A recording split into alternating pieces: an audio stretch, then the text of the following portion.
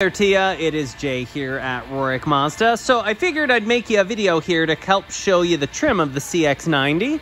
Now this particular trim level is called the Preferred Plus. It's going to be directly equivalent to what you have, but obviously with the brand new model, there is going to be quite a big updates. The interesting part for the updates is these are significantly more powerful and actually get almost 25% better fuel economy.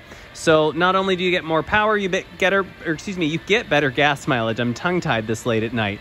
Now wheel-wise, you're going to have an 18-inch multi-spoke design, all LED in the front, and what's really unique is you'll see that this LED bar cuts right in the middle of the grill. It almost looks like part of it.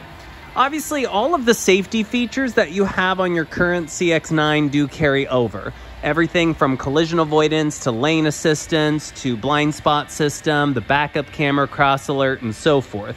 What makes these more unique is the way that they drive. These are built on basically the same platforms that BMW and Mercedes are built on, which are going to be a rear wheel bias, and then the engine goes basically inline which makes it very, very smooth and also, again, more powerful. Now, in terms of advanced key, a little bit different, a little cleaner. Like on your current vehicle, you have the button that you can press to lock or unlock the door, but this particular one, as soon as you grab the handle, it'll automatically just unlock for you. Now, to the rear, you'll see that you have your LED tail lights. You are gonna have dual exhaust up underneath the bumper. You obviously notice everything is all-wheel drive, and then of course liftgate is going to be power here. However, I didn't unlock the car, so let me try this again here.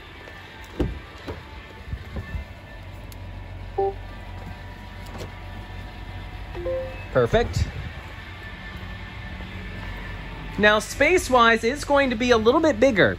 Ironically, not by much in overall length. People look at these and they're like, oh my goodness, they're massive. But ironically, these are only about an inch longer overall than the CX-9. A lot of it is the way that they did the body lines and that the fact that it's a little bit taller. Now, this particular one is going to be a seven-seat configuration. What Mazda had done is instead of a bench in the center, they did captain chairs, which look significantly nicer, and did basically three rows of seats in the rear. Now, speaking of the back seats here, just unlocking, you'll see that this particular one has the two-toned interior, which I have to say I love. However, if you get worried based on children or pets, there is a black interior available. What I like so much about this particular interior is you'll notice all of the black panels and this gorgeous blonde wood up through here. Of course, you'll have the shades that pull up here seats they'll recline with those captain seating you have armrest here you'll have chargers in your tri-zone climate that you'll see. Of course you have a sunroof up there much like your current cx9 and then this is where everything's going to make a big statement. This is so much nicer cleaner and more luxe. You have leather that goes across the dash. Again with this particular light interior you have those big staples of kind of blonde wood up through the doors Pioneer audio system. You'll have your heated leather seats, obviously all power.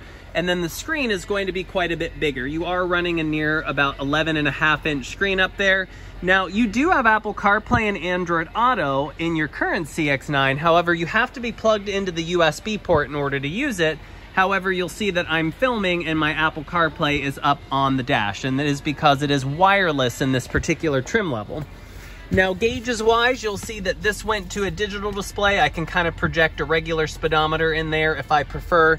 You'll see that you'll have your dual zone climate with those heated seats. This is actually a wireless charger, so you can set your phone on and charge.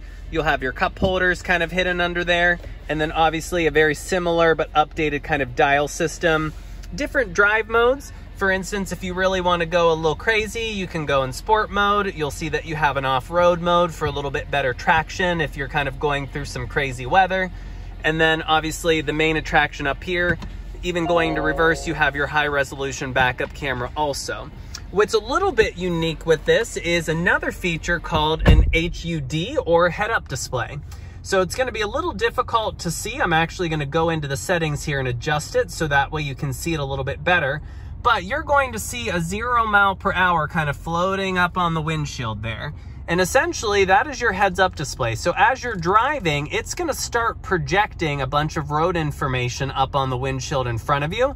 In fact, if you're using navigation, it will put all of your turn-by-turn directions up on the windshield in front of you, among other uh, safety warnings and so forth. So there is a lot of upgraded tech, but just the overall style of the interior is quite gorgeous in these.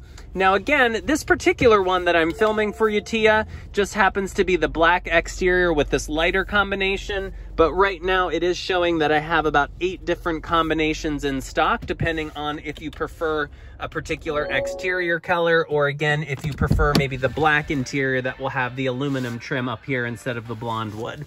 But I hope this helps just give you a little bit of an example on some of the key differences between your current 9 to the CX90 and then again, I'm always here to help if I can be of any assistance, and I'll look forward to hearing back. Thanks again.